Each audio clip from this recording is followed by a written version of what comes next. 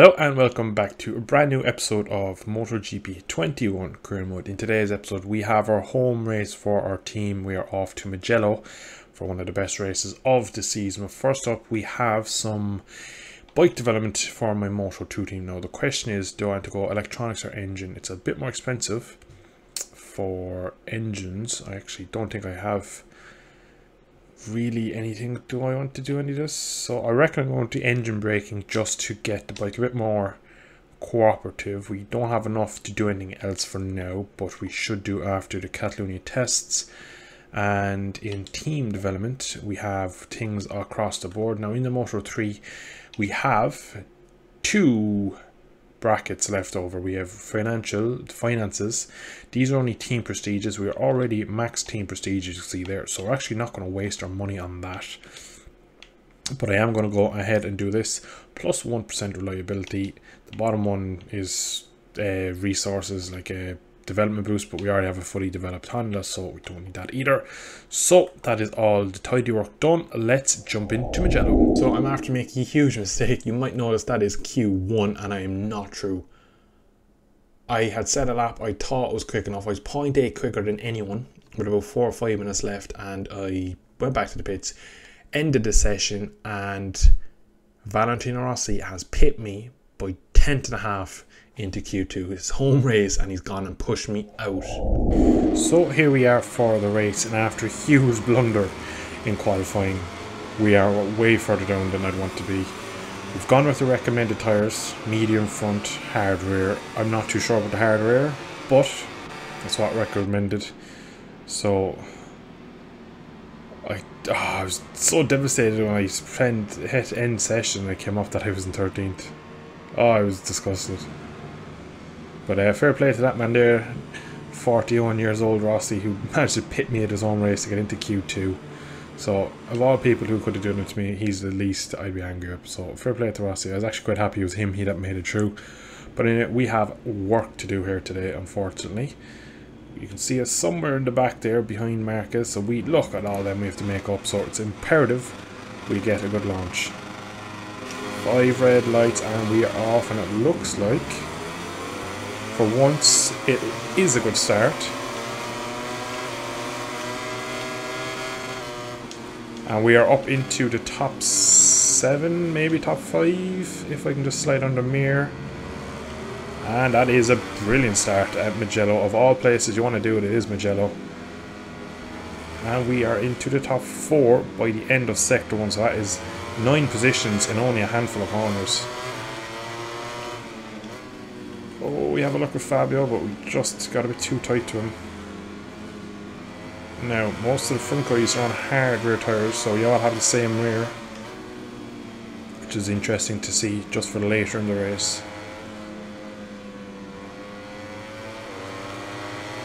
But usually these colder conditions, they like to kind of go a bit cold, so I am skeptical of it. I think it will wear quite quickly and the pace won't be that high in the race. It all depends on if the AI kind of manage to do something special with it, like they can do in times. A lot of times the AI just don't seem to get affected by the actual real life temperatures. Like the player would. A lot of rear end moving from the hard rear already only after lapping. Look how worn it is on the right side. I reckon it's going to be a big issue for me. Probably not for the area as much. I didn't go off the track there. That was a bullshit warning. That's going to be second. I got away with that one because I got one in qualifying for doing that. So I want to just turn tight.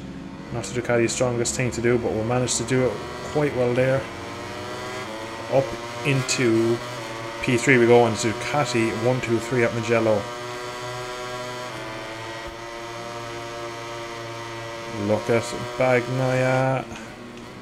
Has a look at Miller. Our goal here is to get to the front and see can we check out. We've had a fantastic opening lap. Best opening lap all year and we have a huge moment into two there. Front was on the move, had to pick it up a touch.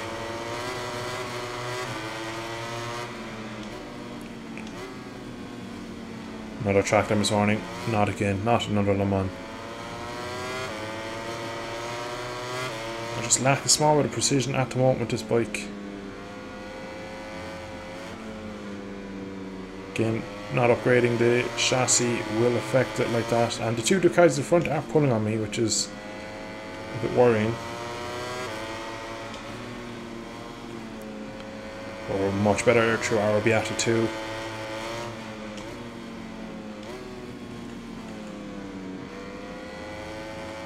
Miller is holding his own at the front. Just pulling a small gap over Fabio. Nothing huge as of yet.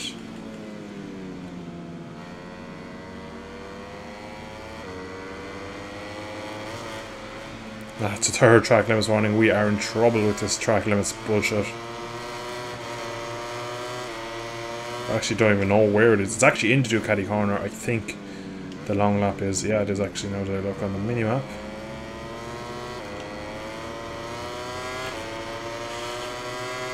Into the of Pecco we come. We're going to hit 200 miles an hour. What are we going to hit in top speed wise? 220. And that is the lead. But Miller fights us back. A big bit of contact. And we are wide. 220 miles an hour. And we pass both of them for a split second. Gonna hang it in on Pecco. Just not close enough. Again, mistake on that curb. It's not where you want to be. I actually don't have much temperature in the rear, which is a bit annoying. Almost broke the uh, all-time speed record in GP. If we had a slightly better rear tyre, if we had a medium on, I reckon I could have got off the corner a bit quicker. And that would have got me 223, I think is the current record by Zarco.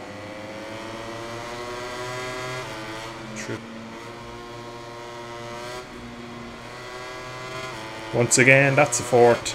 The bike is an absolute bolt through them corners. I cannot take speed through it. And we're one warning away now from getting a penalty. So it is imperative we get these boys this time round. Fastest lap goes to me. 218 that time round. But Miller again just pushes us wide on the braking. I presume Pecco's going to show us a wheel. Not exactly. He gets poor exit though. Not close enough.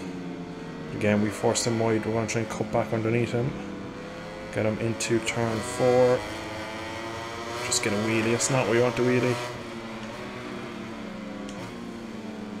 Into Materassi. We come turn five. Maybe can we get him down into the next right hander? Casanova Savelli, not unlike a move from here, but too far back at the moment. And there's another Ducati there, wants to take my position back.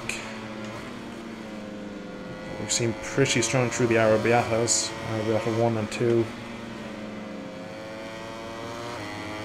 Just drifting and up over the hill.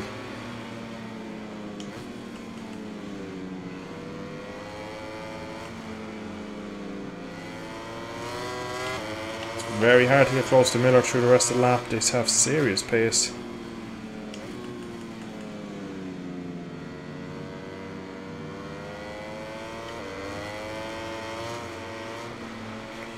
Take a very gingerly through here. And we still get the penalty. We touched the curb and that's a penalty. I do not believe it. That's twice we've touched that curb and got a penalty. So... Oh, what a nightmare. At least we have time left. Ah, geez, another long lap. Warning. This has been a nightmare for this Ducati. But into the lead this time we go. We need to give an absolute all-out lap here to get a bit of a gap to the boys behind. This is a qualifying lap and that rear tyre is really letting me down. What can I do with free track, I wonder.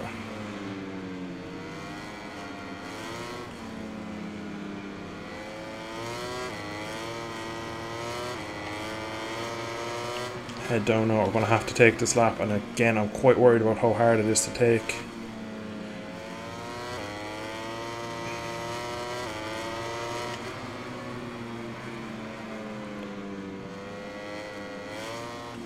We're on the raggedy edge at the moment with this Ducati.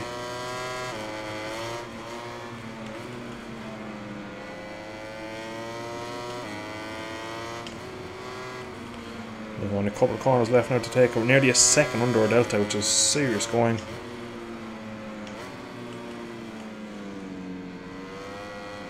Alright, last corner. Now up into this corner to take it.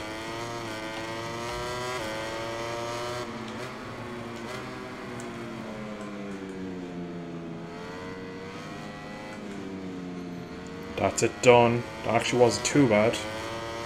I'll come out just behind them. Now we have plenty of warnings to go, so we can kind of use the track to our advantage just to get back with them. Oh my god, huge moment. We bounced off the inside curb there. And again, spinning up in the curb, we're making so many mistakes, we're completely overriding this Ducati.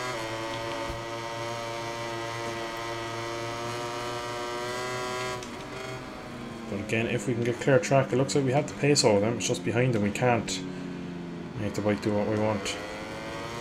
Oh, Christ, again, like, come on. This penultimate lap right there. We just need to get another lap out of it. We have two more warning. We have one more warning before we get a penalty then.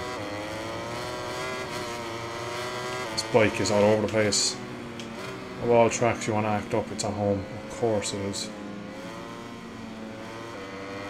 We've yet to have a clean race with this Ducati, I found so far we've had such a difficult weekend nearly every weekend. We've had good results, we've managed to pull it out of the bag, but we've yet to have a weekend where we've just can't plain sailing.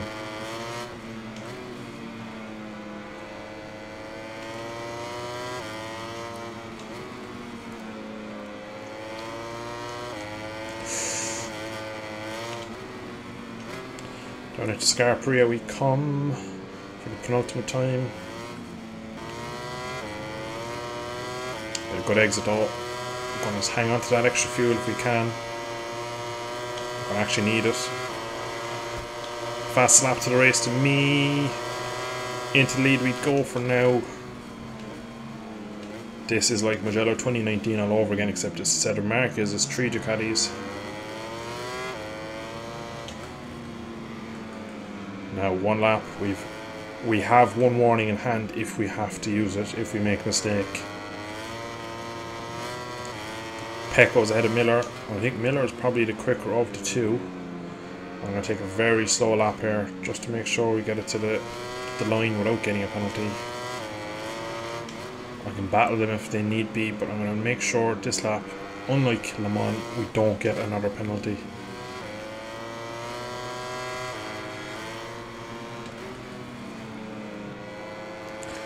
That's the first half of the lap done. That's the easy part done. Now we come into Arrabbiata 2. Careful on the exit.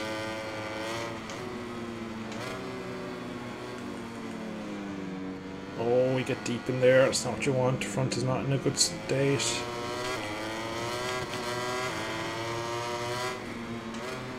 Gonna have to be very careful. Oh, we're a bit wide there. They haven't shown us a wheel yet though.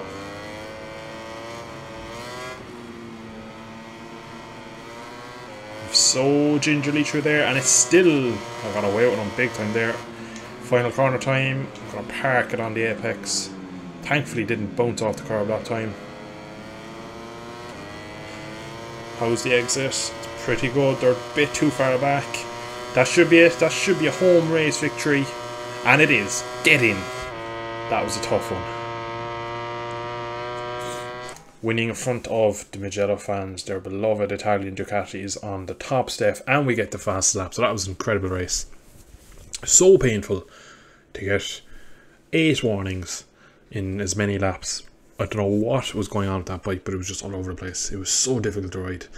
And obviously was quick as well because the top three men were all on the exact same bike. But um yeah, that was geez, that was a tough race where did everyone else come home? So Elate on the Aprilia, another Ducat or another Italian bike comes on P5, so fabulous result for him. Zarco 9th, 10th for Martin, so that's five Ducatis in the top 10. Unfortunately, Rossi down 18th, he did go with a soft rear, so not surprising. And Davi and Marini all at the back, so unfortunately not a great day for the Italian riders. P2 for one of them, and uh, the next one was Jesus Dozen, one in the top 10. So Bastianini in 15, so most of them outside it. But for the Ducatis, what a brilliant day, and that gives us the championship lead back. Now, I really want to push on from here. This was a brilliant race. I showed that I have the pace over my teammates. I just need to get it out of the box a bit more early on in the race because uh, most races I've had early race pace issues and it's towards the end of the race a bit like Qatar 1 and 2 I was the fastest man on track at the end but couldn't make anything of it and same Le Mans with the penalty. That should have been a win so we have thrown away a good few race wins this season so far but the uh, teams championship is almost done already. We're 150 points clear and the constructors probably up at 50 yeah it's up at 49 so we again we nearly have two race victories worth over Yamaha so we're having a great time as a team. But I just need to improve slightly my riding again. A couple more upgrades on this bike and I think we should be favourite for the title so a brilliant result for Dom in P7 after qualifying 13 so he ends up with our first top 7 at Mugello brilliant track and a brilliant performance. So all the upgrades do look to be improving Dom quite quickly. Again, unfortunately, Carmona had a difficult race, qualified 19, dropped back to 23rd. Let's see how the moto look at that. Qualified second for Rizal, comes home with the race victory.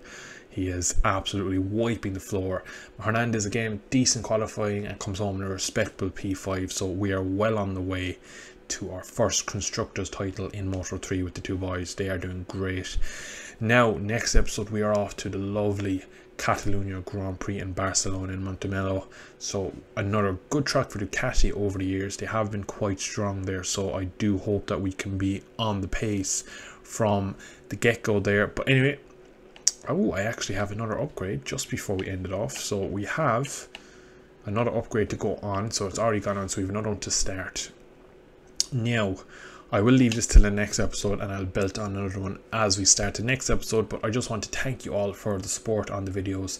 They've been blowing up recently and just happy new year to everyone and thank you all once again for watching. I'll catch you in the next episode.